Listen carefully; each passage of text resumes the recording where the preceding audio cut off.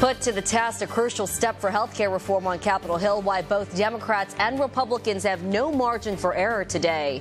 Swine flu setback, new worries in the fight against the virus, the new strain that has some doctors worried they could be powerless to stop it. And more than a game, an emotional scene in a high school locker room, why the players were inspired not just by their coach's pep talk, but, but why he over what, what he overcame to give it to them. You're watching NBC4, live from the area's leading news station. This is News 4 Today. Good morning, everyone. Welcome to News 4 Today for Saturday, November 21st, 2009. I'm An Yang. The news is straight ahead, but we want to take a look at the forecast, of course, with meteorologist Chuck Bell. Yes, indeedy. And Chuck, yesterday turned out to be a very lovely day. Absolutely, We'd it like did. to have more. I love those thunderstorms at midnight Thursday night going in. I'm like, wow, November really thunderstorms. loud. This is good stuff. Yeah. And then yesterday, yeah, the sun came back.